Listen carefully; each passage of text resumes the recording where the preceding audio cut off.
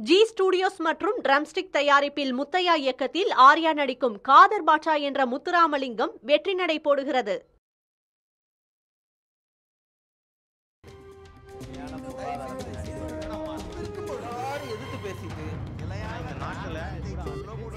வழி வழியை தவிர வேறு மக்கள் தங்களுடைய பங்களிப்பை வணக்கம். நேர்பட பேசு நிகழ்ச்சிக்கு வரவேற்கிறோம். கடந்த புதன்கிழமையன்று நடந்த முன்னாள் முதல்வர் திரு கருணாநிதி நூற்றாண்டு விழா தொடக்க விழா நிகழ்ச்சியில் பேசிய முதல்வர் திரு மு க ஸ்டாலின் பாஜக அரசுக்கு எதிரான சக்திகளுக்கு எதிரான அமைப்புகளை ஒன்று சேர்க்கணும் வரக்கூடிய நாடாளுமன்ற தேர்தலில் அப்படின்னு பேசியிருக்கிறார். அதற்கான முன்னெடுப்புகளை செய்யணும். எந்த விதமான சமாதானமும் இதில் செய்து கொள்ளக்கூடாது அப்படின்ற வலியுறுத்தலை முன்வைத்திருக்கிறார்.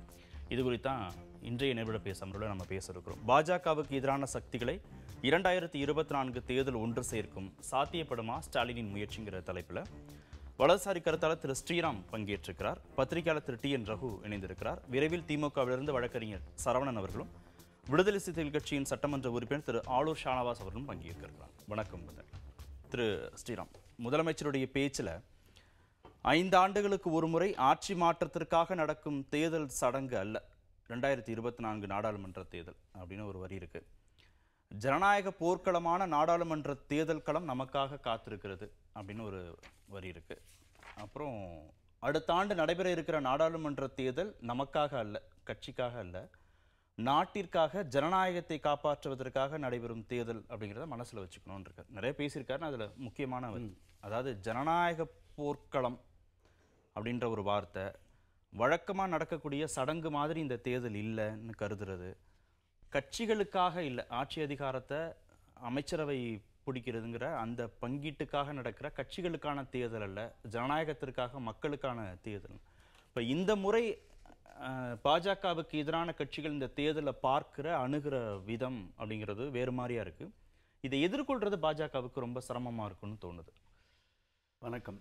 இல்லை எல்லா அரசாங்கமும் எல்லா எலெக்ஷனும் வந்து சடங்குன்னு சொல்லிட முடியாது. எல்லா எலெக்ஷன்ஸும் அந்த நாட்டின் எதிர்காலத்தை நிர்ணயிக்கக்கூடிய எலெக்ஷனாக தான் நான் பார்த்துருக்கேன். அதை தான் நான் வருங்காலத்துலேயும் பார்ப்பேன்.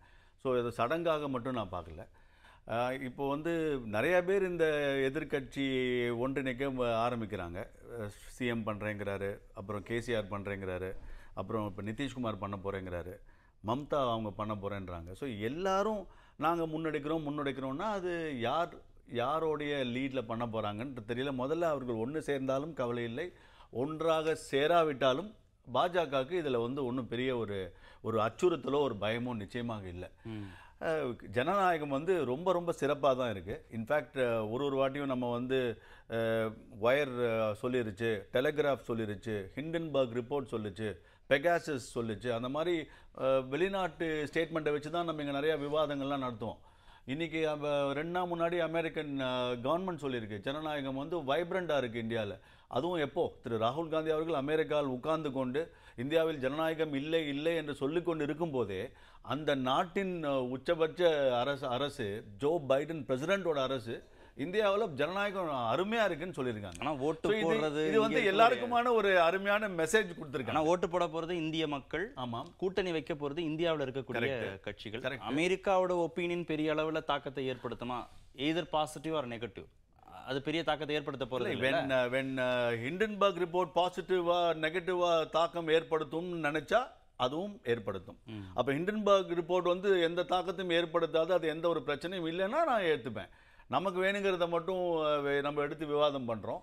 அஹ், அது நமக்கு எதிராக அதாவது எதிர்க்கட்சிகளுக்கு எதிராக when I say that. அவர்களுக்கு அது இருந்தா அது அவர்களுக்கு வந்து அது வந்து எல்லாரும் இல்லைங்கிறது எல்லாரும் தெரியல. ஒண்ணு சேர்றாங்க ஒரு புள்ளியில எல்லாரும் ஒண்ணு சேர்றாங்க அது நீங்க சொன்ன மம்தாவா இருக்கட்டும் நிதிஷா இருக்கட்டும் சரத்பவாரா இருக்கட்டும் பினராயா இருக்கட்டும் கெஜ்ரிவாலா இருக்கட்டும் ஸ்டாலினா இருக்கட்டும் எல்லாரும் காமன் பாயிண்ட்ஸ்ல தான் ஒண்ணு சேர்றாங்க ஒண்ணு ஆளுநர் தொந்தரவு பண்றாரு அப்படின்னு ஒண்ணு சேர்றாங்க மாநில உரிமைகள் பறிபோகுது. மத்திய அரசு அந்த அதிகாரத்தை எடுத்துக்குது அப்படின்னு ஒன்று சேர்றாங்க இல்லைன்னா இன்வெஸ்டிகேட்டிவ் ஏஜென்சி இருக்காங்கல்ல சென்ட்ரல் ஏஜென்சி சிபிஐ மாதிரி அமலாக்கத்துறை மாதிரி அந்த புலனாய்வு அமைப்புகள் தொந்தரவு பண்ணுறாங்க இவங்க சொல்லக்கூடிய எல்லா விதமான இல்லை கூட்டணி எதிர்கட்சிகளை எதிர்க்கட்சிகளை வந்து அங்கே வந்து பலவீனப்படுத்துறது.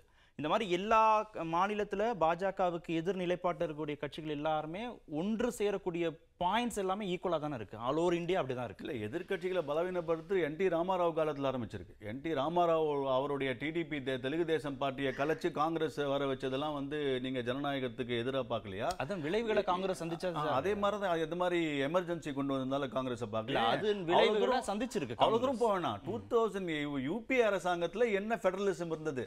தமிழ்நாட்டுக்கு என்ன நீங்க வந்து தூக்கி கொடுத்துட்டீங்க? நீங்க அந்த பத்து வருஷம் இருந்தீங்க அதுவும் உங்க இங்க இருக்கக்கூடிய திமுக இருந்த அந்த நான் இதை வந்து பல விவாதத்துல கேட்கிறேன் கார்த்திகேயன் அவர்களே. நீங்க பத்து வருஷத்துல தமிழ்நாட்டுக்கு இந்த யூபி அரசாங்கம் திமுக அங்கம் வகித்த யூபி அரசாங்கம் தமிழ்நாட்டுக்கு செய்த நன்மைகள் என்னன்னு ஒரு லிஸ்ட் போடுங்கன்ற இது வரைக்கும் பல விவாதத்தில் கேட்டாச்சு. அப்போல்லாம் உங்களுக்கு எங்க போச்சு அந்த ஃபெடரலிசம் அப்போல்லாம் உங்களுக்கு எங்க போச்சு அந்த கூட்டாட்சி தத்துவம்? அப்போல்லாம் உங்களுக்கு எங்க போச்சு கவர்னர் அதே ம- பிரதமர் மோடி ஆளுக்கு முதலமைச்சராக இருந்தபோது ஒரு மெடிக்கல் காலேஜ் கொடுக்காம பதிமூணு வருஷம் அவரை ஓட விட்டோம். அதெல்லாம் ஃபெடரலிசத்தில் வருமா? இல்லை கூட்டாட்சி தத்துவத்தில் வருமா? இன்னைக்கு வாரத்துக்கு ஒரு மெடிக்கல் காலேஜ் எல்லா எல்லா மாநிலத்திலையும் கொடுக்குறாரு. ஒரு யூனிவர்சிட்டி திறக்கிறாரு. எல்லா ஸ்டேட்லயும் ஜல் ஜீவன் சக்தியா இருக்கட்டும். இதுக்கான இதெல்லாம் தான் ஃபெடரலிசம் இதெல்லாம் தான் ஜனநாயகம். இல்ல மாவட்டத்துக்கு ஒரு மருத்துவக் கல்லூரிங்கிறது வந்து சென்ட்ரல் கவர்மெண்டோட schema state government central government obviously central government திறந்து வச்சிருக்கிறது மாவட்டம் தோறும் பொறியியல் கல்லூரி மாவட்டம் தோறும் மருத்துவக் கல்லூரிங்கிறது இங்க இருக்கக்கூடிய திமுகவும் அதிமுகவும் கொண்டு வந்த ஸ்கீம்ஸ் அதுக்கு மத்திய அரசு நிதி ஒதுக்குது பங்களிப்பு அதுதான் நான் கொடுக்குதுங்கிறது கேக்குறேன். நீங்க எப்படி வேணா நீங்க டைட்டில் வச்சுக்கோங்க. அது உங்க இஷ்டம். கொள்கை ஆனா முடிவு நீங்க எடுக்கிற என்ன பண்ணீங்க? தான். அந்த குஜராத்துக்கு என்ன பண்ணீங்க? நீங்க யூபி அரசாங்கம் இருக்கும்போது உங்களோட சென்ட்ரல் கவர்மெண்ட் ஃபண்ட்னே வச்சுக்கோங்க ஸ்டேட் கவர்மெண்ட்னே வச்சுக்கோங்க. அவர் கேட்ட ஒரு மெடிக்கல் காலேஜை கொடுக்கலையே. நர்மதா ப்ராஜெக்ட்டுக்கான அவர் வந்து திட்டத்தை கேட்கிற போது அந்த திட்டத்துக்கு பணம் கொடுக்கலையே. ஸோ நீங்க ஃபெடரலிசம் இந்த கூட்டாட்சி இதெல்லாம் நீங்க உட்காரும் போது எப்படி இருந்ததுன்னு பாருங்க. இன்னைக்கு உண்மையாக ஜனநாயகம் இருப்பது இன்னைக்கு ஜல் ஜீவனா இருக்கட்டும் ஏழைகளுக்கு அந்த சுய உதவி குழு பணமாக இருக்கட்டும் விவசாயிகளுக்கு டைரக்ட் பெனிஃபிட் டிரான்ஸ்ஃபராக இருக்கட்டும் உஜ்வாலா திட்டமா இருக்கட்டும் மா பாரபட்சம் என்று இன்றி எல்லா மாநிலத்திலையும் அந்தந்த ஏழை மக்களுக்கு உதவுவதுதான் ஜனநாயகம். அந்த ஜனநாயகத்தை பிரதமர் சிறப்பாக தான் செய்கிறார். மக்கள்கிட்ட இருந்து பாஜக அந்நியப்பட்டிருக்குங்கிறார். ஒற்றுமையின் மீது சகோதரத்துவத்தின் மீது மதச்சார்பையின் மீது உண்மையான வளர்ச்சியின் மீது இந்த நாட்டின் மீது வை நம்பிக்கை வைத்திருக்கக்கூடிய மக்கள் நம்மோடு இருக்கிறார்கள். நம் மீது நம்பிக்கை வச்சிருக்கிறாங்க. அப்படி அதனால இந்த ஒற்றுமையை கட்டமைப்போம் அப்படின்றார். அதே கான்ஃபிடன்ஸ் வந்து பாஜகவுக்கும் இருக்கு. இருக்கு. ஜனநாயகத்திற்கு ஜனநாயகம் எப்படி இருந்தது என்று மக்கள் வளர்ச்சியை எப்படி பார்க்குறாங்க நாட்டோட பாதுகாப்பை எப்படி பார்த்துருக்காங்க இந்த ஒன்பது வருஷத்துல மக்களுக்கு கிடைத்த அந்த பலனெல்லாம் வச்சு மக்களும் நிச்சயமாக பிரதமர் பின்னாடி இருப்பாங்கன்றதுல ஆழ்ந்த ஒரு ஸ்ட்ராங் ஒப்பீனியன் இருக்க. தான் இருக்கு. அதுல ஒன்றும் சிறுபான்மை மக்களுடைய நம்பிக்கையை இந்த அரசாங்கம் பெறல. பெரும்பான்மை மக்களை வந்து ஒன்றிணைக்கிறதுல அங்க சாதி அடிப்படையிலான பிளவு. அதுல பாஜகவுக்கு ஒன்றும் பலவீனம் இல்லை சப்கா சாத் சப்கா விகாஸ் சப்கா விஸ்வாஸ். இதுதான் அவருடைய டைரக்ட் ஸ்டேட்மெண்ட் சிறுபான்மையர்களுக்கு இந்த அரசாங்கம் என்ன செய்திருக்குன்றது சமூக வலைதளம் நிச்சயமாக இருக்கு டேட்டா இருக்கு. எல்லாருக்குமான வளர்ச்சி எல்லாரையும் ஒன்றடக்கிய வளர்ச்சி. இந்த ஒரு திட்டவட்ட இந்த இஸ்லாமியர்களுக்கு எது சிறுபான்மையர்களுக்கு எதிர்ப்பு எது எதிர்ப்பான கட்சி பாஜக என்று சொல்வது சொல்லிக் கொண்டு தான் இருப்பார்கள் அதுல வந்து மக்களுக்கு அது புரியும் இஸ்லாமியர்களுக்கும் அது புரியும். ஓகே. சரவணன் முதலமைச்சருடைய அறிக்கையில் இருக்கக்கூடிய சில பாயிண்ட்ஸ் சொல்லி தான் திரு ஸ்ரீராம்கிட்ட கேட்டுட்டு இருந்தேன் அதில் முதலமைச்சருடைய ஸ்டேட்மெண்ட்டில் தமிழ்நாட்டில் எவ்வாறு ஒரு ஜனநாயக ஆட்சி உருவாவதற்கு ஒரு கூட்டணி அமைத்தோமோ அதுபோல இந்தியாவில் ஜனநாயகம் காப்பாற்றப்படுவதற்கு ஒரு கூட்டணி அமைந்திட வேண்டும் என்று இன்றல்ல தொடர்ந்து நான் வலியுறுத்திட்டு வரேன். என்னை வந்து சந்திக்கும் அகில இந்திய தலைவர்கள்ட்டையும் நான் சொல்லிட்டு வரேன். மாநில கட்சிகளின் தலைவர்கள் மாநில முதலமைச்சர்கள்ட்டையும் நான் வலியுறுத்திட்டு வரேன் என்றார். அப்போ இந்த சிரமம் இருக்கிறத புரிஞ்சுக்க முடியுதா? தமிழ்நாட்டில் ஒரு கூட்டணியை நீங்கள் அமைக்கிற மாதிரி தேசிய அளவில் ஒரு கூட்டணி அமைச்சிட முடியுன்ற நம்பிக்கை திரு ஸ்டாலினுக்கு இருக்கா? அதை சாத்தியப்படுத்த முடியும் நம்புறார் அவர்? நல்ல கேள்வி. Rome is not built in a day அடிமேல் அடித்தால் அம்மியும் நகரும் அப்படின்ற அந்த நோக்கில் பார்த்தீங்க அப்படின்னா ரெண்டாயிரத்தி இருபத்தி ஒன்று இருபத்தி ரெண்டில்.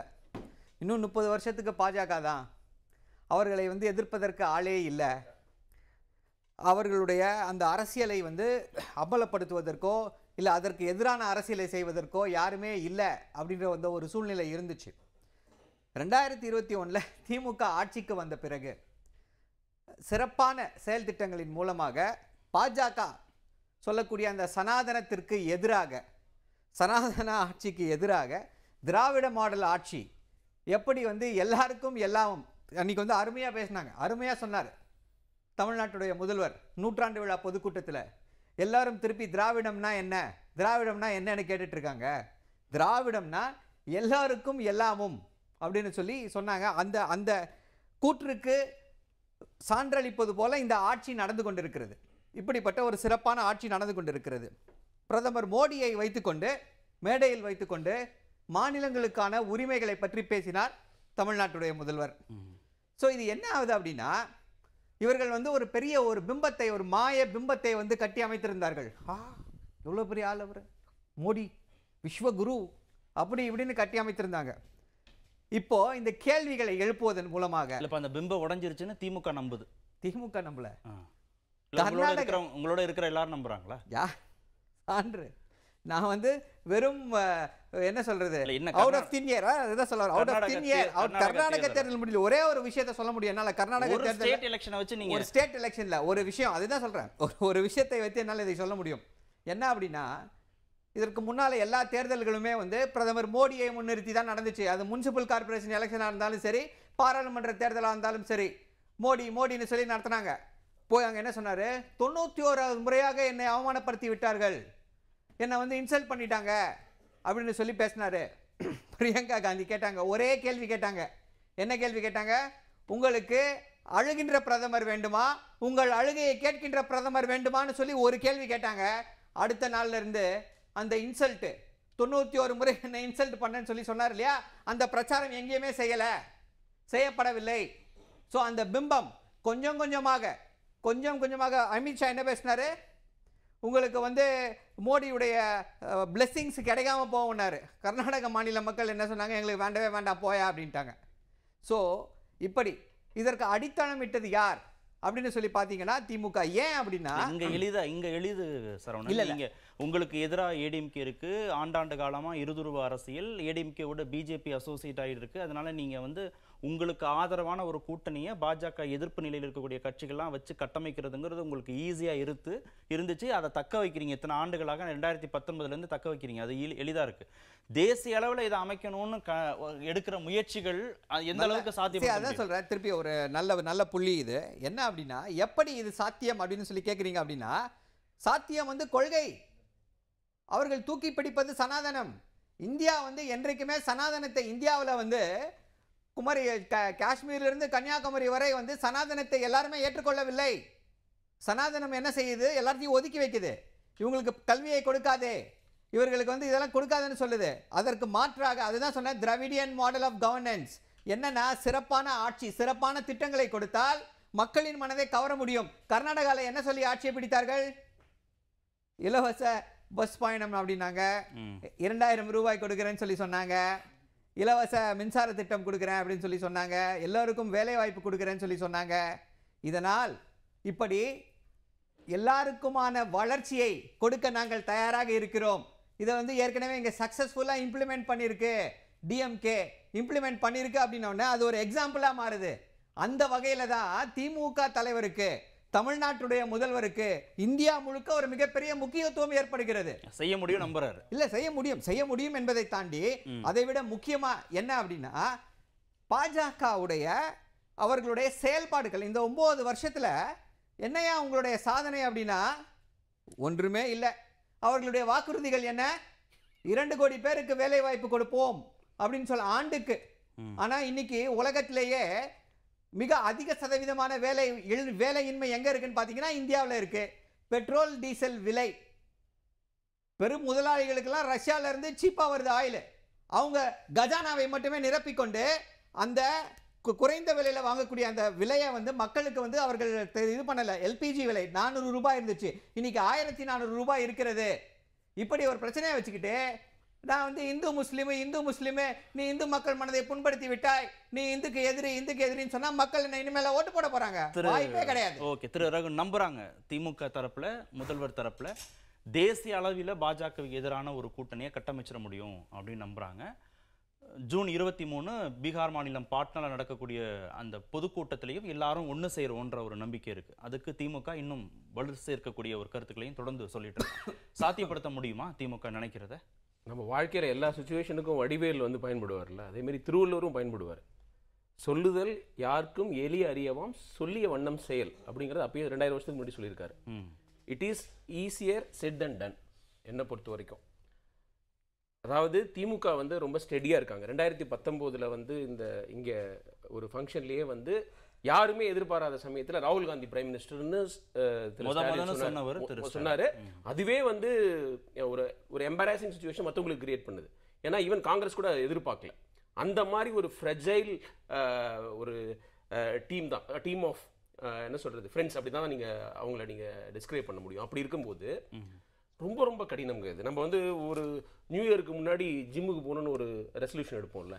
நல்ல ஒரு ஹெல்த்தியாக இருக்கணும். ஒரு டிசிப்ளின்டாக இருக்கணும் அப்படின்னு எடுக்கிற ஒரு நல்ல முடிவு.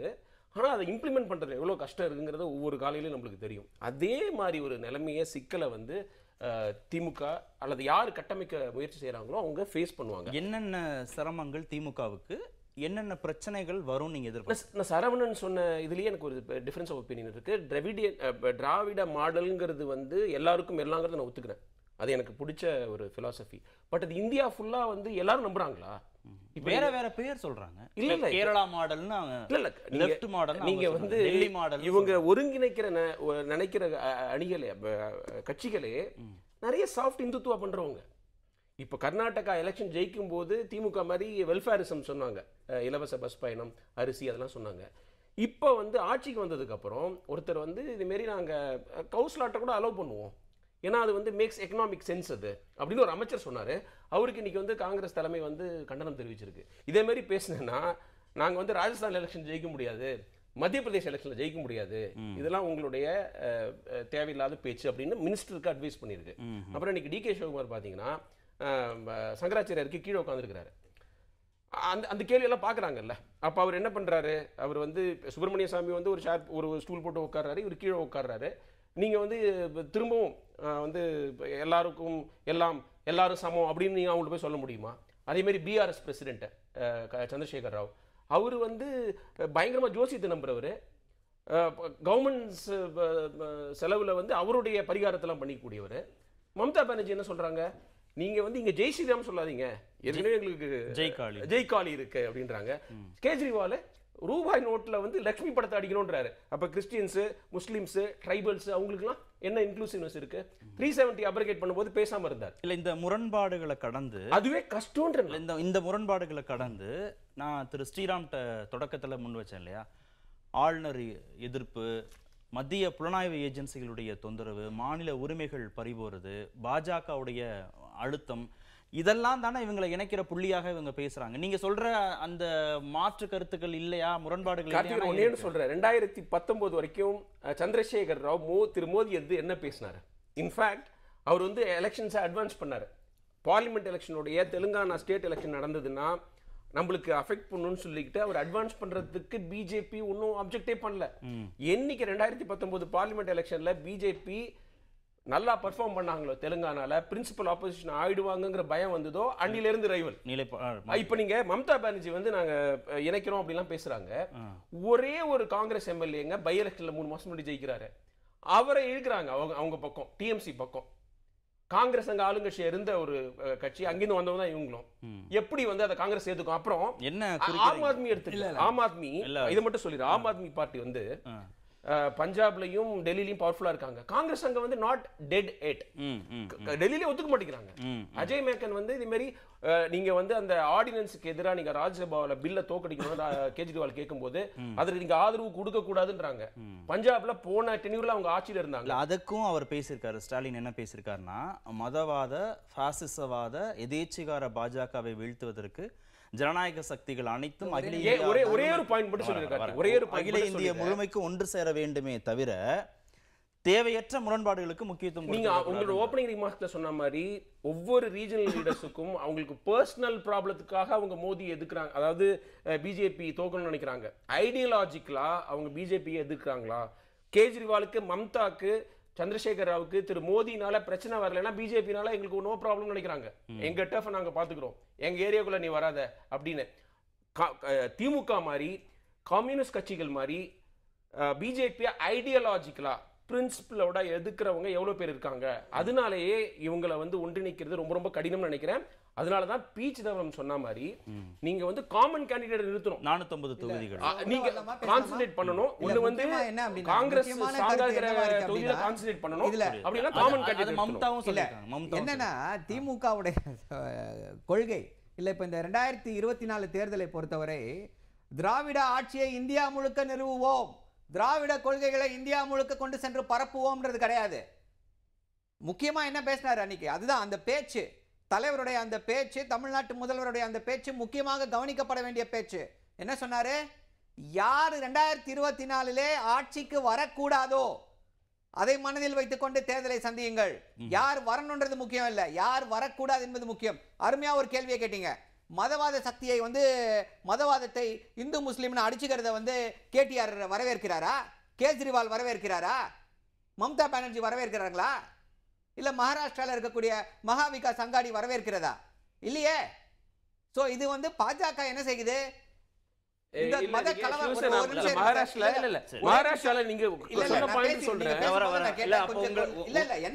பாஜக கை கொள்ற ஹார்ட்கோர் இந்துத்துவா தான் பிரச்சனை. ஹார்ட்கோர் இந்துத்துவா Soft- ஹார்ட்கோர் இல்ல இந்துத்துவ பிரச்சனை இல்ல இல்ல. ஒரே நிமிஷம். இல்ல என்ன முக்கியம் அதோட பிரச்சனை என்னன்னா இப்போ இந்த இந்த இந்த பிரச்சனைகள் வந்து பின்னுக்கு போயிடுச்சு. இனிமே இனிமே வந்து பாஜக வந்து இந்து முஸ்லிம்னு சொல்லி ஓட்டு கேட்டா மக்கள் ஓட்டு போட தயாரா இல்ல. ஏன்னா அவர்கள் வாழ்வாதாரத்தை தொலைத்து விட்டு வேடிக்கை பார்த்து கொண்டிருக்கிறது பாஜக. என்னன்னா ஒண்ணுமே டைமே இல்ல. ஃபுல் ஸ்பீச் அவர்தாவே இருக்கு. அது விவாதம் இல்ல. எனக்கு இன்டர்வியூ ஃபுல் இருக்கு? ஸ்பீச் கேட்க நான் வரல. எடுத்துக்காட்டு என்னவா இருக்கு? நானும் சொல்றேன் கொஞ்சம் இருங்க வெறும் இந்து முஸ்லிம் இந்து முஸ்லிம் சொல்றது இது இதுதான் அரசியல். வெறும் இந்து முஸ்லிம் இதை இதை இது இதுதான் இதுதான் போய் சார் பாஜக. கொஞ்சம் பேசாம சார். நானும் பேசுறேன். நீங்க கத்தாதீங்க. நான் பேசாதீங்க. ஒழுங்கா? கத்துங்க. நான் நானும் திருப்பி? கத்துவேன். ஒழுங்கா நான் மரியாதை இருக்காது. திராவிடத்துக்கு மரியாதை இருக்காது. ரகு சார். அதுதான் இந்த திராவிடம் கத்து கொடுக்கணும் முதல்ல போயாண்டாரு அமித்ஷால. ஒரு நிமிடம். பேசாம ஒரு. நிமிடம். இதான் திராவிடமா. ஒரே ஒரு இல்லாத திராவிடம். நீங்க. கஷ்டத்துல கத்தாதீங்க. ஒரு நிமிடம். வச்சுக்கோங்க. நான் பேசுறத பேசுவேன். நீங்க சும்மா உங்க பேச்ச நான் கேட்க வரல டைம் கொடுங்க ரெண்டு நிமிஷம் கொடுக்குறீங்க. அப்புறம் இவர் வரேன் நான் வரல அதெல்லாம் மேடல போய் பேச சொல்லுங்க. ஒரு-. நிமிஷம் ஒரு நிமிஷம் இல்ல, கார்த்திகேயன், ஒரு இல்ல, அவர் ஒரே அவர் நிமிஷம். பேசுறேன் கொஞ்சம் இருங்க. இல்ல, நான் பேசிட்டு இருக்கேன். நான் வரலங்க. ஒரு டைம் கொடுங்க. இவர் யாருக்கு வேணும்? வெளில போங்க. எல்லாரும் இந்த வேணும் வேணாம் வாய்ப்பு? சும்மா திராவிடம் உங்க அந்த பேச்சை வெற்றி ஸ்பீச் எல்லாம் வேணாம் நாங்களும் பேசணும். புதிய தலைவருடைய விருந்தினர்கள். நீங்க போங்க வெளில. உங்க நான் வரல இங்க அதுதான் கிளம்புங்க அதுதான் இதான் திராவிடம் இதான் கல்ச்சர் எல்லாம் எங்க இவர் கல்ச்சர் சொல்லி கல்ச்சரா பிஹேவ் பண்ண ஒரு சொல்லுங்க ஒரு டிவி. சேனல்ல கல்ச்சரா பிஹேவ் பண்ண சொல்லுங்க ஸ்ரீராம் சார் ஒரு ஒரே நொடி ஒரு நொடி ப்ளீஸ் இல்ல இல்ல நான்- வரேன் வரேன் ரகுட்ட போயிட்டு வரேன் சார் ஒரு செகண்ட் என்ன அலோவ் பண்ணுங்க திரு ரகு நீங்க அவர் கேட்ட ஸ்பீச் கொடுத்தனே இருப்பார் நாங்க சும்மா உட்கார்ந்துட்டு. நான் வரல கார்த்திகேயன் நம்ம. வரேன், வரேன், வரேன். நீங்க பேசாம இருங்க உங்களை யாரு கேட்டா நீங்களா முதல்ல time- பிஹேவ் பண்ணுங்க லாயர் வேற சொல்லிக்கிறீங்க லாயர் வேற வரல சொல்லிக்கிறீங்க முதல்ல டீசெண்டா பிஹேவ் பண்ணுங்க சார். லாயர் வேற பேச்சு சார் ஒரு நிமிஷம் சார் ஏன் சார் முடிச்சு நான் I am your guest I am not நான் அதை ஸ்டடி சொல்லி கெஸ்ட் புரிய வச்சிட்டேன். புரிஞ்சுக்கோங்க புரிய வச்சிட்டேன். அதெல்லாம் பேசிக்கா லாயருக்கு புரியும் எல்லாருமே புதிய தலைமுறை விருந்தினர்கள் திரு ரகு மாதிரி போ, நீ வெளில போ. அவர் நீ வா போ ஏன் ஒதுங்குற? தப்பு சார் to வெளில வெளில போ யாருமே சார் அப்புறம் அதை சொல்லுங்க சொல்லி- பாங்க. நான் அதை சொல்லிட்டேன்ல அவர் எங்க விருந்தினர்கள் எல்லாரும் நான் வெளில போறேன். இவர் யார் என்ன வெளில போன்னு விடுங்க? விடுங்க நானே அவர் வெளில சொல்லி- போட்டோம். நானே சொல்லிட்டேன் பதில் திரு ரகு அவர் சொன்னதுல ஒரு ஒரு கேள்வி அவர் சொன்னதுல இந்த இந்து முஸ்லிம்னு பி- பிரிச்சு பேசுற பாஜகவுடைய தன்மையை மற்ற கட்சிகள் நீங்க சொன்ன சாஃப்ட் கோர் இந்துத்துவ பின்பற்றக்கூடிய கட்சிகள்லாம் பண்றாங்களா? அப்படின்னு அவர் கேட்டார். இல்ல அவங்க தீர்க்கமா எதிர்குரல் கொடுக்க மாட்டேங்கிறாங்க. அவர் நான் சரவணன் என்ன கேட்க விரும்புனேன்னா சிவசேனா வந்து எம்பி எம்பிஎல் இருக்காங்க. அவங்கள செக்யூலர் பார்ட்டி நீங்க சொல்லுவீங்களா? முஸ்லீம்களை வந்து எதிரியா காமிச்சதை வந்து பிஜேபியோட இன்னும் அப்பட்டமா வெளில காமிச்சவங்க. நான் கேட்குறேன் காஷ்மீர்ல த்ரீ செவன்ட்டி அப்ரிகேட் பண்ணும்போது ஆம் ஆத்மி பார்ட்டி என்ன பண்ணாங்க? அந்த கேள்வி கேட்குறாங்கல்ல இன்னைக்கு வந்து அவங்க வந்து நாங்க வந்து எங்களோட சப்போர்ட் வேணும்னு கேட்கும்போது அதே கேள்வி அவங்கள்ட்ட கேட்குறாங்க அப்புறம் இடபிள்யூஎஸ் சமூக நீதியில ஒரு முக்கியமான அங்கம். அதை வந்து காங்கிரஸ் ஆதரிக்கிறாங்க. இடதுசாரிகளும் இடதுசாரிகளும் ஆதரிக்கிறாங்க. இவங்க நான் திராவிட மாடல குறை சொல்ல. இவங்க தமிழ்நாட்டை வச்சு நீங்க எப்படி இந்தியா முழுவதும் இந்த முரண்பாடுகளை எப்படி புள்ளியா இணைக்க அவர்? இன்டென்ஷன்லாம் நல்லா இருந்தா கூட. எப்படி இணைக்க முடியும் பிராக்டிகலா என்னன்னா இதுதான் ஃபர்ஸ்ட் டைம் இப்படிப்பட்ட ஒரு சம்பவம் நிகழ்கிறது. இப்படிப்பட்ட ஒரு நிறை இணைப்பு நிகழ்கிறது. முரண்பாடுகள் வந்து ஒன்றாக இணைகிறது அப்படின்னா இந்த விமர்சனங்கள் இந்த இது எல்லாத்தையும் ஏத்துக்க முடியும். இது ஆயிரத்தி தொள்ளாயிரத்தி எண்பத்தி நடந்துச்சு. ரெண்டாயிரத்தி நாலுல நடந்துச்சு. ரெண்டாயிரத்தி ஒன்பதுல நடந்துச்சு. இப்படிப்பட்ட முரண்பாடுகள் கொண்ட இது. இப்போ என்னன்னா பொது எதிரி. இந்தியாவிற்கான பொது எதிரி. இந்திய மக்களை மதத்தின் பெயரால் துண்டாட நினைத்து அவர்கள் ஒரு சாரார் மட்டுமே வந்து பயன்பெற வேண்டும் என்று நினைக்கக்கூடிய ஒரு மோசமான சக்தி இந்தியாவை ஆட்சி செய்து கொண்டிருக்கிறது. அந்த அந்த. சக்தியை அவருக்கு அடிக்க வேண்டும் என்றால் எல்லாரும் ஒண்ணா ஆகணும். புரிஞ்சிருச்சு இந்தியா புரிஞ்சிருச்சு இந்தியாவுடைய பன்முகைத்தன்மை இந்தியாவுடைய அடையாளம் முக்கியம். ஓகே. ஒன்றாக ரெடியா இருக்காங்க. மீண்டும் வரேன். ரெண்டு ஆயிரத்தி தொள்ளாயிரத்தி எழுபத்தி ஏழுல திரு மொராஜி தேசாய் பிரதமரானார். எண்பத்தி ஒன்பதுல விபி சிங். இந்த ரெண்டு காலகட்டமும் திரும்பும்னு நிதிஷ்குமார் நம்புறார். இங்கே எப்படி காங்கிரஸை வந்து பலவீனப்படுத்தி தோற்கடித்து வேறு ஒரு மாற்று சக்தி வந்து பிரதமராக முடிஞ்சதோ அதே மாதிரியான ஒரு சூழல் இங்கே வரும்னு நிதிஷ்குமார் வந்து பேசுகிறார் அத்வானியுடைய ரத யாத்திரையை எங்கள் அப்பா நிறுத்தின மாதிரி நிதிஷ் வந்து மோடியுடைய ரத யாத்திரையை நிறுத்துவார்னு தேஜஸ்வி யாதவ் பேசுகிறார் அப்போ இந்த சினாரியோ வந்து திரும்புது.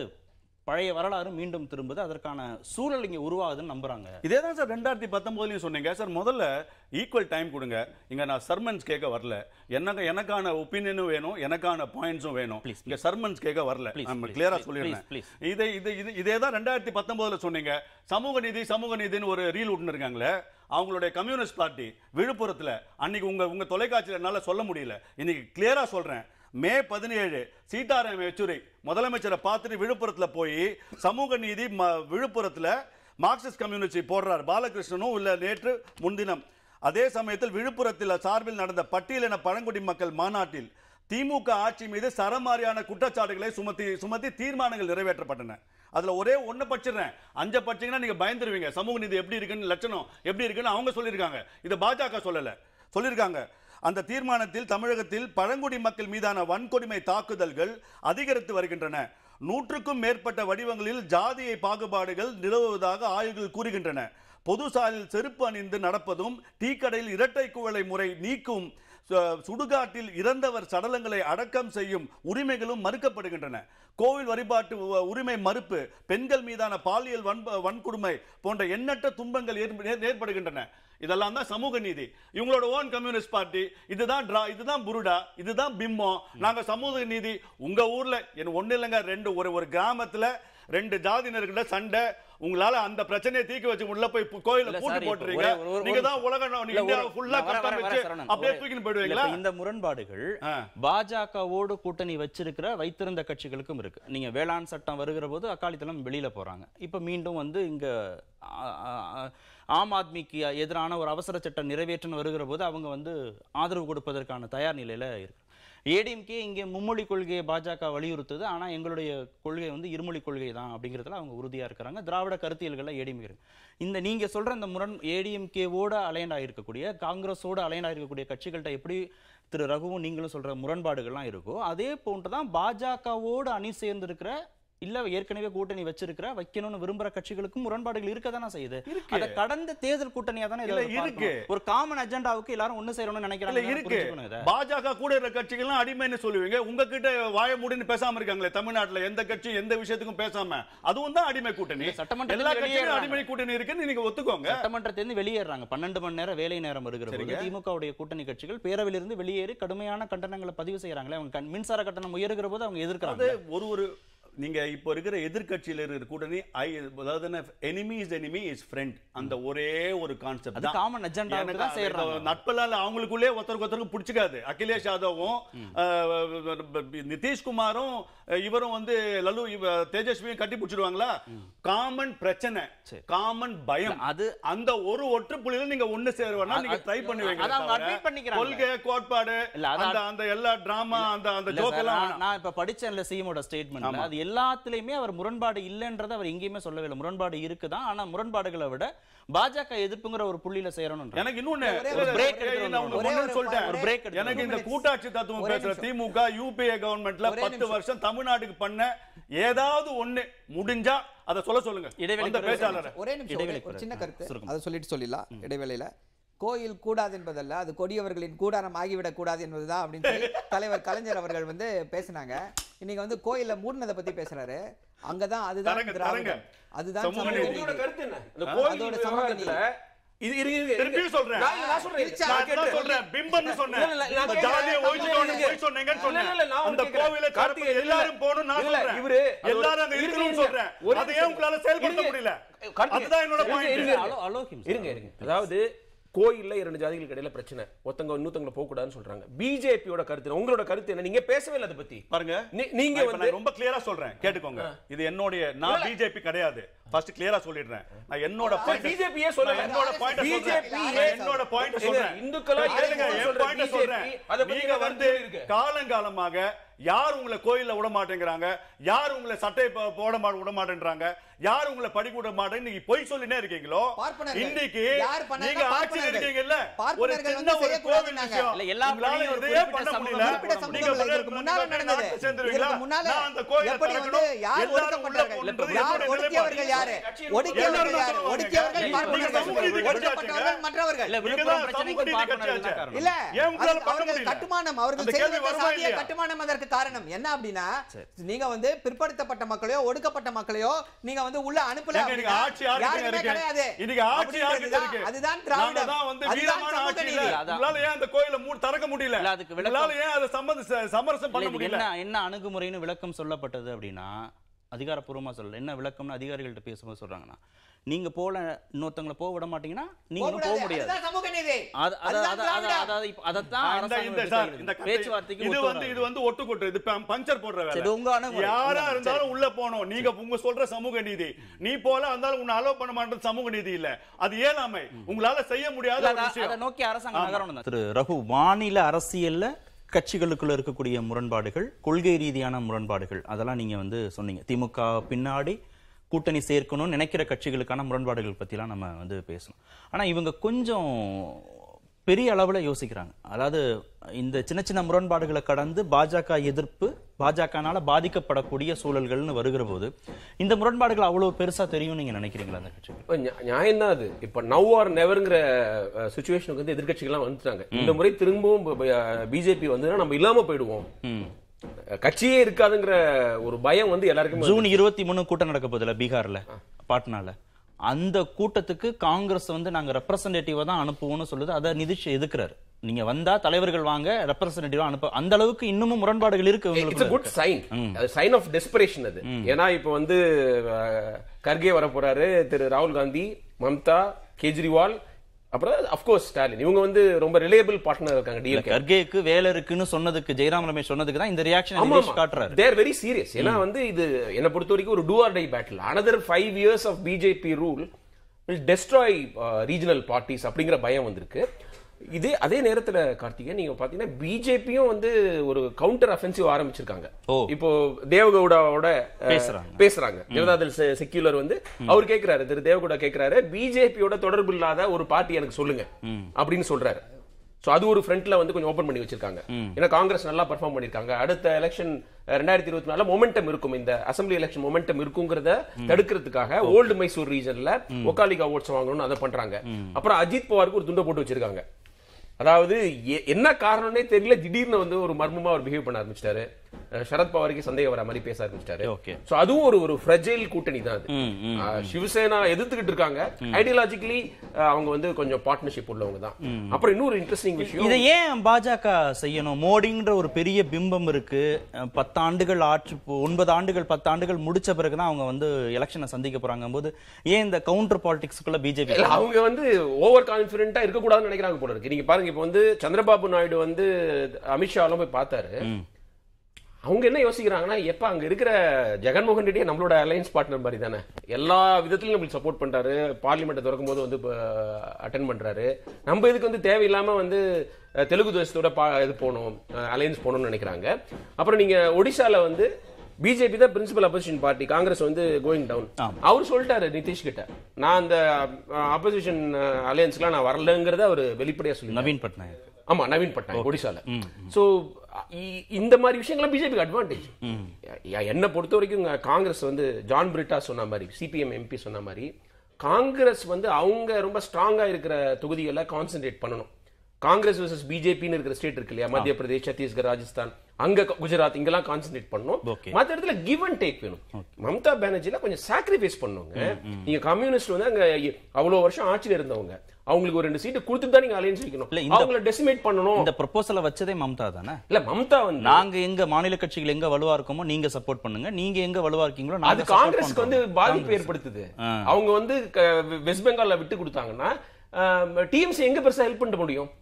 கோவால ஒண்ணுமே கிடையாது டிஎம்சி வம்படியா போய் அங்க வந்து ஒரு முன்னாள் முதல்வர் போட்டியிட்டாங்க. வந்து போட்டியிட வச்சு ஓட்ட பிரிச்சு அது க்ளோஸ் எலெக்ஷன் தான் அது. அங்க போய் டிஎம்சி வந்து போட்டி போட வேண்டிய அவசியம் என்ன?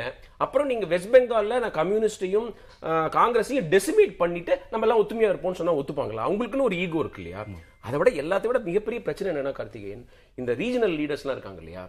Mamata Banerjee KCR Arvind Kejriwal. They are no less egoistical than Modi அவங்களோட ஈகோ மேசிவ் அவங்க பார்ட்டி மெம்பர்ஸ்லாம் அவங்கள வந்து கடவுள் மாதிரி பாக்குறாங்க அப்படி இருக்கிறவங்க எப்படி வந்து அதெல்லாம் விட்டுட்டு போவாங்க? இப்ப லீடர்ஷிப்னு வரும்போதா? அப்ப பிரைம் மினிஸ்டர் ஆம்பிஷன் கூட எல்லாருக்கும் இருக்கு. நிதிஷ்குமார் ஹார்பர் பண்றாரு. ஏ கேஜ்ரிவால் கூட இருக்கலாம். மம்தா பானர்ஜிக்கு மூணாவது டேர்ம் வந்துட்டாங்க. வாட் நெக்ஸ்ட் அப்படின்னு அவங்க யோசிக்கிறாங்க. இது வரைக்கும் கேசிஆர் வந்து பிஜேபி எதிர்த்துட்டு இருந்தாரு. இப்ப காங்கிரஸ் தூக்கி கடல்ல போடணும்ன்றாரு. ஏன்னா காங்கிரஸ் வந்து showing signs of revival in Telangana உடனே. காங்கிரஸ் பத்தி பேசுறாரு. இந்த- மாதிரி இருக்கும்போது திரு பி சிதம்பரம் சொல்ற மாதிரி எப்படி நீங்க வந்து பொது காமன் பொது பொது ஆப்பிள் ஆரஞ்சு இது எல்லாத்தையும் சேர்த்து வச்சு நீங்க வந்து எல்லாம் ஒண்ணுதாங்க அப்படின்னு சொன்னா யார் எது? திரு ஆலோக் ஷர்னாஸ் தமிழ்நாடு மாதிரியான ஒரு கூட்டணியை தேசிய அளவுல கட்டமைக்கணுங்கிறத நான் தொடர்ந்து வலியுறுத்திட்டே இருக்கேன். பல மாநில முதலமைச்சர்கள்ட்டையும் பேசுறேன் அப்படின்னு அண்மையில திரு மு க ஸ்டாலின் பேசியிருக்காரு. இது எப்படி சாத்தியங்கிறதுக்கு வைக்கப்பட்ட கேள்விகள் நீங்க வரதுக்கு முன்பு. திமுக ஐடியாலஜி படி பாஜக எதுக்குற அளவுக்கு திமுக இணைக்கணும்னு நினைக்கிற கட்சிகள் ஐடியாலஜி படி இணைக்கிறாங்களா? அவ்வளவு சித்தாந்த பிடிப்போட இருக்கிறாங்களா? மாநில அரசியலில் பல கட்சிகளுக்கும் அங்கேயே முரண்பாடு இருக்குது காங்கிரஸோட முரண்பாடு இருக்குது ஆம் ஆத்மியோட முரண்பாடு இருக்குது அந்த மாதிரி ஒவ்வொரு கட்சிகளுக்கும் முரண்பாடு இருக்குது இடதுசாரிகளோட முரண்பாடு இருக்குது அதை எப்படி அவங்க சரி செஞ்சுட்டு ஒன்று சேர முடியும்? முக்கியமாக ஈகோ இருக்கக்கூடிய தலைவர்கள் எல்லோரும் ஈகோ விட்டு கொடுத்துட்டு தலைமை இவர் தான் அப்படின்றத அடையாளப்படுத்துறதுக்கு தயாராவாங்களா? முதல்ல இது சாத்தியமா சாத்தியம் இல்லையாங்கிற கேள்விக்கு போறதுக்கு முன்னாடி இது தேவையா தேவையில்லையாங்கிறத தான் பார்க்கணும். இன்னைக்கு பிஜேபியை வீழ்த்த வேண்டிய தேவை இருக்கிறதா? இருக்கிறது. இதுல உள்ள ஒரு கட்சி கூட அதுல முரண்பட மாட்டாங்க. அந்த நெருக்கடியை அவங்க உணர்றாங்களா? உணர்றாங்க. நெருக்கடி வந்து காங்கிரஸுக்கு மட்டும்தான் இருக்கா? இல்லை. முழக்கத்தை காங்கிரஸ் இல்லாத இந்தியான்னு பிஜேபி வச்சாலும் வெறும் காங்கிரஸை மட்டும் போய் அவங்க டிஸ்டர்ப் பண்ணல. ஆம் ஆத்மியவே அவங்க வந்து இன்னைக்கு படாத பாடுபடுத்துறாங்க. மம்தாவும் மிகப்பெரிய நெருக்கடி சந்திச்சிருக்காங்க. கேசிஆரும் சந்திச்சுக்கிட்டு இருக்காரு. பா பால் தாக்கரேயுடைய கட்சி இன்னைக்கு என்ன ஆச்சுன்னு பார்த்துக்கிட்டு இருக்கோம். இந்தியா முழுவதும் பிஜேபியை எதிர்க்கும் கட்சிகளை மட்டும் பிஜேபி எதிர்க்கவில்லை. பிஜேபியோடு அணி சேர்ந்த கட்சிகளையும் சேர்த்து பிஜேபி காலி செய்திருக்கிறதுங்கிறதுக்கு பல சான்றுகள் இருக்கு. அப்போ அணி சேர்ந்த உடன் பயணித்த கட்சிகளையே அவங்க ஒன்றும் இல்லாமல் ஆக்கிக்கிட்டு இருக்காங்கன்னா எதிர்க்கிறவங்களை என்ன பண்ணுவாங்க? அப்போ இவர்கள் எல்லாம் எதிர்க்கக்கூடிய கட்சிகளாக இருக்கும்போது இந்த எதிர்ப்பில் ஒரு ஒருங்கிணைவு வேணும்னு சொல்றோம். அதற்கான தேவை இருக்குது. அந்த தேவையை எல்லாரும் உணர்றாங்க.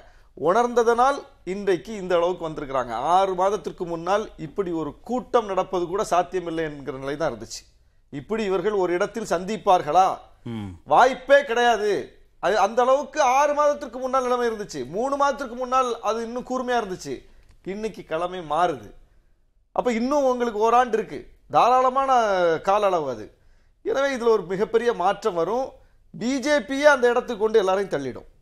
பாஜகவே எல்லோரும் ஓர் அணியில் திரண்டு மூர்க்கமாக பாஜகவை எதிர்க்கக்கூடிய அணியை கட்ட வேண்டிய நிலைக்கு பாஜகவை தள்ளிடும். அதனால சாத்தியம் இல்லைன்னு எதுவுமே சொல்ல முடியாது. கட்சிகள்கிட்ட மட்டும் இந்த ஒருங்கிணைப்போ இந்த மனமாற்றமோ வந்தா போதுமா?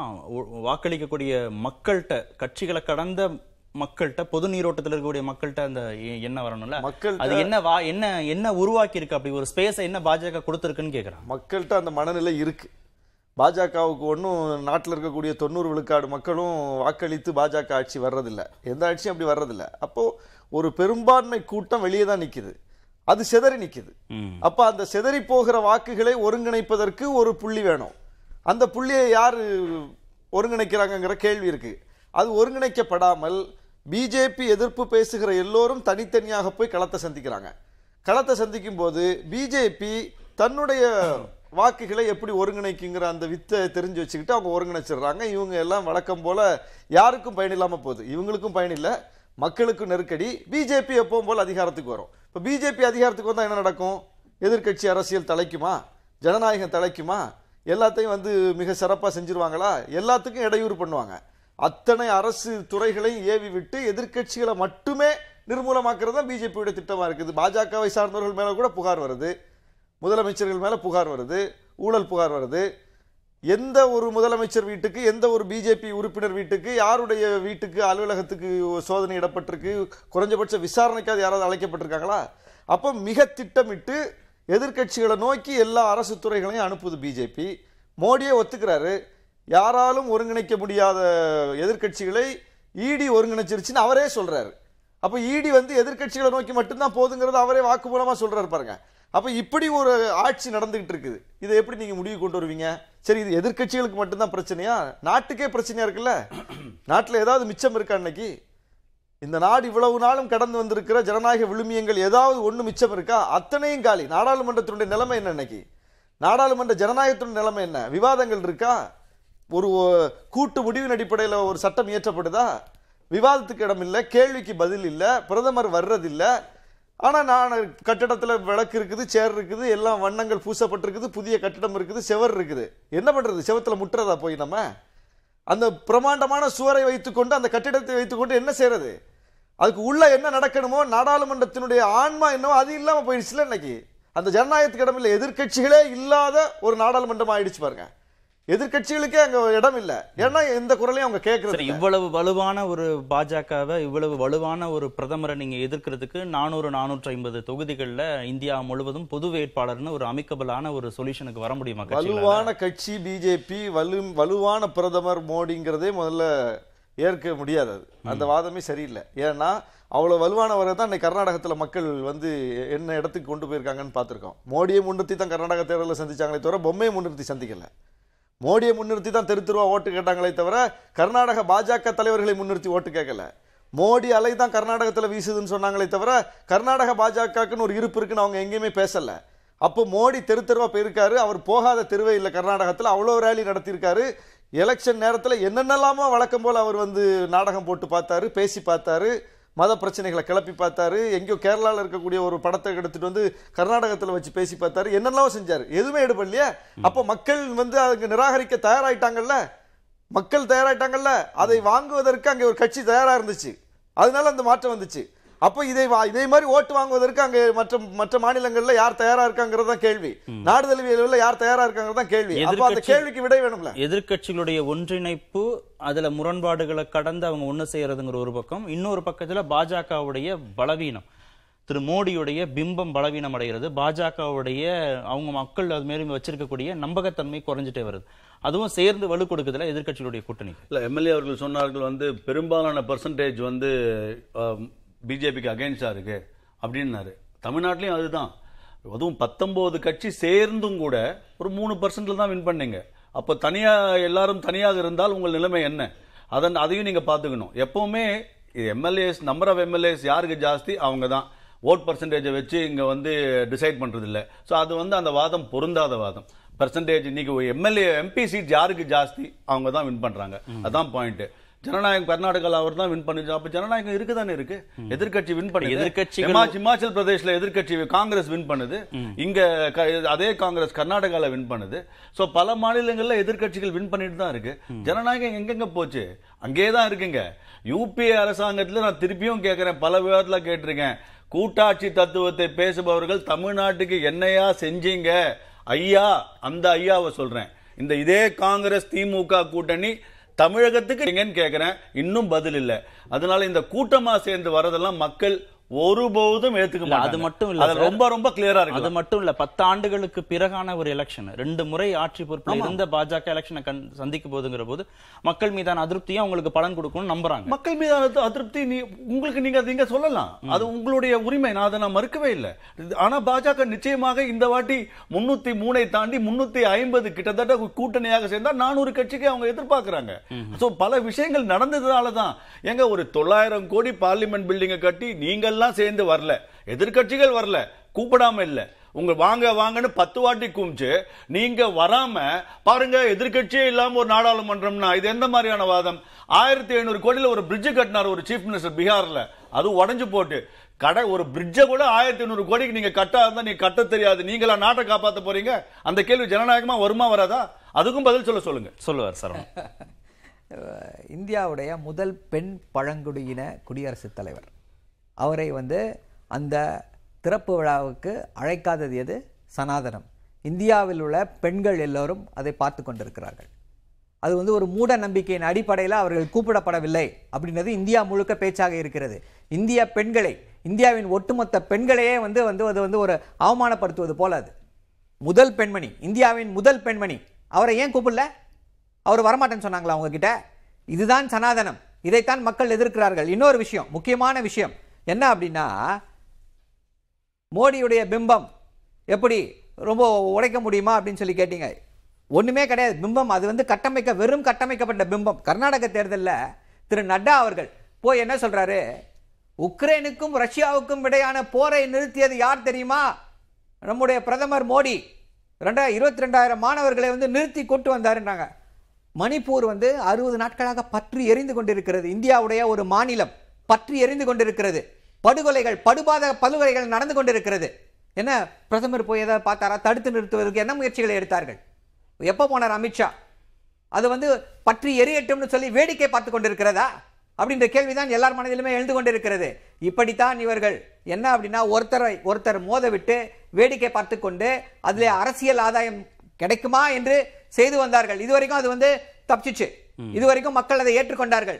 ஏதோ புதுசா செய்வாங்க. ஏன்னா இதை மட்டுமே பேசாம என்ன பேசுனாங்கன்னா நாங்கள் அதை செய்வோம். பதினஞ்சு லட்சம் கொடுப்போம். உங்க அக்கவுண்ட்ல வரும். கருப்பு பணத்தை கொண்டு வருவோம். ரெண்டு கோடி வேலை வாய்ப்பு கொடுப்போம். விவசாயிகளின் வருமானத்தை இரட்டிப்பாக்குவோம். அப்படி இப்படின்னு கவர்ச்சிகரமா என்னெல்லாமோ செய்தார்கள் பேசினார்கள். அதை எதையுமே நிறைவேற்றலை. சிலிண்டர் விலை ஐம்பது ரூபாய் ஏறினதுக்கு புல்லட் காட்ல போய் போராட்டம் நடத்தினாங்க. இன்னைக்கு என்ன பண்ணிட்டு இருக்காங்க? யாராவது ஒருத்தர் நானூறு ரூபாயில இருந்து ஆயிரத்தி நானூறு ரூபாய் ஆயிருக்கிறது எல்பிஜி சிலிண்டர் விலை. யாராவது பேசுறாங்களா அதை பத்தி? இதுதான் பிரச்சனை. ஒரே இந்த பிரச்சனை. வந்து. இந்த இரண்டாயிரத்தி தேர்தல்ல வெளிவரும். எதிர்க்கட்சிகளுடைய ஒற்றுமைங்கிறத கடந்து திரு மோடியுடைய பிம்பம் பாஜகவுடைய செல்வாக்கு குறையுதுங்கிறதையும் அவங்க கூடுதல் பலமா ரொம்ப பாக்குறாங்க அநியாயமான விஷயம் நடந்துட்டு இருக்குங்க. இப்ப ரெஸ்ட்லெஸ் Exactly. அதாவது கதறிக்கிட்டு இருக்காங்க ரோட்ல இவர் வந்து மெடல் வாங்கினா உடனே கூட்டு வச்சு கொண்டாடுறாரு. ஏதாவது ஒரு வார்த்தை பேசினாரா? திரு மோடி வந்து நான் பாத்துக்கிறேமா சீரியஸ் அலிகேஷன்ஸ் இது. உங்க பக்கத்துல இருக்கிறதா சொன்னாரா? மணிப்பூரை பத்தி போறதை விடுங்க. பேசவே இல்லை அவரு. மணிப்பூர் வந்து சிவில் வார் நிலைமையில இருக்குதுங்க. எக்ஸாக்ட்லி அத பத்தி வந்து ஒரு பிரைம் மினிஸ்டர் பேசணுமா வேண்டாம். அங்க வந்து நார்த் ஈஸ்ட்ல எலெக்ஷன்னா விதவிதமா வந்து ஃபேன்சி ட்ரெஸ் காம்படிஷன் மாதிரி தலைப்பாகையெல்லாம் அடிச்சுக்கிட்டு பழங்குடியிற மாதிரி ட்ரெஸ் எல்லாம் போட்டுக்கிட்டு பேசுறாருல மணிப்பூருக்கு எத்தனை முறை போறாரு? அந்த சின்ன ஸ்டேட்டுக்கு அங்க நடக்கிற பிரச்சனை கேட்கிறாரா பட் என்னுடைய கேள்வி வந்து இவ்வளோ இஷ்யூஸ் இருந்தாலும் நாடாளுமன்ற தேர்தல்ல எஸ்பெஷலி இந்த பீமாரு ஸ்டேட்ஸ்ல இதெல்லாம் பாக்குறாங்களா? இந்த டிமானிட்டைசேஷன்ல மக்கள் பட்ட பாடு ஜிஎஸ்டி இம்ப்ளிமெண்ட் பண்ண அவசர அவசரமா பண்ண மக்- மக்களை கேக்குறீங்களா? மக்களுக்கு அவங்க என்ன நினைக்கிறாங்க இது வந்து அதாவது சவுத் இந்தியால வந்து நீங்க பார்டர் பிரச்சனை பாகிஸ்தானை காமிச்சு மிரட்டுறது நாட்டுடைய பாதுகாப்பு இந்த மாதிரி ஜீபும்பாலாம் காமிச்சு ஓட்டு வாங்க முடியாது ஆனா அன்பார்ச்சுனேட்லி பெரும்பாலான இந்தி பேசும் மாநிலங்கள்ல இது இது வந்து எடுபடுது அதுக்கு என்ன கவுண்டர் வச்சிருக்காங்க. ஒரே கேள்வி மட்டும். நேரம் இல்ல. இந்த கூட்டணி இதுல. யூபி தான் வந்து பிபி பிஜேபியோட பேக் போன் அதை சேர்ந்த வந்து அகிலேஷ் யாதவ் எல்லாத்துலயும் இருப்பாரா? இருபத்தி மூணாம் தேதி மீட்டிங்ல கலந்துப்பாரா? இருக்காரு. அவருடைய கான்ட்ரிபியூஷன் எப்படி. இருக்கும்? காங்கிரஸ் உள்ள வர்றதுக்கு அலோவ் பண்ணுவாரா? அந்த மாதிரி ஒரு ஓகே, கேள்வி. மக்கள் வந்து அப்படி இருக்காங்க தென்னிந்தியா மாதிரி கடந்து. போக முடியாது. ஏன்னா மக்கள்கிட்ட போய் வேலை செய்ய வேண்டியவர்கள் செய்யணும். இங்கே வந்து வேலை செய்கிறோம் தமிழ்நாட்டிலே நம்ம அப்படியே விட்டுருந்தோம். அந்த கருத்தில் வந்து என்னதான் போடுது அப்படின்னு விட்டுருந்தோம்னா இங்கேயும் தான் ஒரு மாற்றம் வேற மாதிரி ஆயிருக்கும். இங்கே அதை விடாம பிடிச்சிக்கிட்டு இருக்கோம். தேர்தலுக்கு மட்டும் சேராம தேர்தலுக்கு முன்னாலேயே எப்போதுமே கொள்கை அடிப்படையில் கைகோர்த்து நிற்கிறோம் இஷ்யூ பேஸ்டாக நிற்கிறோம் அதுதான் முக்கியமானது. அப்போ மக்களுக்கு ஒரு செய்தியை தொடர்ந்து சொல்லிக்கிட்டே இருக்கணும். அதுபோல அங்கே சொல்லுவதற்கு கட்சிகள் தயாராக இல்லை ஒருங்கிணையவில்லை. எந்த கருத்தின் அடிப்படையில் திரண்டார்களோ அந்த கருத்தையே விட்டுட்டு நீர்த்து போனதனுடைய விளைவை சந்திக்கிறாங்க. அது எந்த நம்பிக்கையில எல்லாம் பாஜகவுக்கு எதிராக வருவா- வருவாங்கன்னு நம்புறீங்க நீங்க? பாஜக அதை கொண்டு வந்துரும். அதான் நான் முதல் சுற்றுல சொன்னேன். இப்ப கிளைமேக்ஸ் இதுக்கு மேல நீங்க வந்து தனிப்பட்ட ஈகோவை காரணம் காட்டியோ? அல்லது உங்களுக்கு வந்து பிஜேபி ஒரு கொள்கை பின்பற்றுதில்ல அதே மாதிரி இவங்களும் இன்னொரு ட்ராக் போட்டு அதையே கொஞ்சம் சாஃப்டா பின்பற்றுவதன் மூலமோ பிஜேபி வீழ்த்த முடியாது. பிஜேபி ஒரு கொள்கை வைக்குதுன்னா அதுக்கு நேர் எதிரான கொள்கையை வச்சு தான் நீங்க மக்களை அணிதிரட்ட முடியும். பிஜேபி வந்து தங்களுக்குள்ள வந்து ஈகோலாம் பார்க்கறது கிடையாது. ஆர்எஸ்எஸ் என்ன சொல்லுதோ அவங்கள வச்சுக்கிட்டு அவங்க அந்த இயக்கத்தை நடத்துறாங்க அந்த கட்சியை நடத்துறாங்க. அது மாதிரி நீங்களும் வந்து ஈகோலாம் பார்க்காம உங்களுக்கு வந்து மக்கள் முக்கியம் நாடு முக்கியம்னு நீங்க வந்தா மக்கள் உங்களை ஏற்க தயாரா இருக்காங்க. பல மாநிலங்கள்ல ஏற்றுக்கிட்டு இருக்காங்க. அதை நம்ம பார்க்கிறோம். வட மாநிலங்கள்ல இது சாத்தியம். இமாச்சல் எங்க இருக்குன்னா கர்நாடகாவா? தமிழ்நாடா. அதுவும் அங்க இருக்கிற மாநிலம் தானே. அங்க எப்படி வந்து வந்துச்சு? இப்போ ராஜஸ்தான்ல எப்படி வந்து காங்கிரஸ் ஆட்சியில் இருக்குது? அப்ப அதெல்லாம் வந்து வட மாநிலத்து மக்களும் தயாரா தான் இருக்காங்க. அதை போய் அடையாளப்படுத்துறது யாரு? களத்தை ஒற்றுமையா நின்று சந்திக்கிறது யாரு? பிஜேபி தேர்தல் வேலை பார்க்குற மாதிரி தேர்தல் வேலையை பார்க்கறதுக்கு யார் தயாரா இருக்காங்கிறது தான் முக்கியம். கர்நாடகத்துல பி- காங்கிரஸ் அப்படி தேர்தல் வேலை பார்த்தது. ஓகே அது முக்கியமானது. சரி இன்னொரு அமர்வுல பேசுவோம். ஒரே கேள்வி. இப்ப ரெண்டாயிரத்தி பதினெட்டுல வந்து சத்தீஸ்கர் எம்பி ராஜஸ்தான்ல காங்கிரஸ் நல்லா பண்ணாங்க. பத்தொன்பது பார்லிமெண்ட் எலெக்ஷன்ல பிஜேபி ஸ்வீப் பண்ணிட்டு வருது. அந்த- கேள்வி காங்கிரஸ்க்கு எழுது போட்டா அப்ப? காங்கிரஸ்க்கு போட்டா வட இந்தியால படிச்சவங்க பிஜேபிக்கு போட்டா படிக்காதவங்க. அதான் ரகுவோட ரெண்டாயிரத்தி நாலுல இருந்து ரெண்டாயிரத்தி பதினாலுக்கு வரை என்ன செய்தது அப்படின்னு சொல்லி கேக்குறாங்க. அது ஒரு மிகப்பெரிய விவாதம் ஒரு ரெண்டு மணி நேரம் மூணு மணி நேரம் வச்சீங்கன்னா கண்டிப்பா பேசுவோம். எங்களால சொல்ல முடியும் அப்படிப்பட்ட அப்படிப்பட்ட வாங்க, prepare பண்ணிட்டு வாங்க. இந்தியாவிற்கே என்ன பண்ணீங்க இந்தியாவிற்கே பத்து வருஷம் வளர்ச்சியை தமிழ்நாட்டுக்கு? காட்டியது. தமிழக மக்கள். வ- வளர்ந்ததற்கு ஒரே காரணம் தத்துவத்தை. தமிழக மக்கள் பெரும்பான்மை கேட்கணும்னு வாதம். விரும்புறாங்க. நிறைய சந்திப்புகள் இருக்கு. என்ன பண்ணணும்னு சொல்லுங்க. எலெக்ஷனுக்கு இன்னும் ஒரு வருஷம் இருக்கு என்ன பண்ணீங்க போறோம். இந்தியாவை தமிழ்நாடு சொல்லுங்க. ஒரு வருஷம் இருக்கு. பெரும்பான்மைவாதம் நன்றி நிகழ்ச்சியில் பங்கேற்ற ஸ்ரீராம். பேச நிறைவு பெறுகிறேன்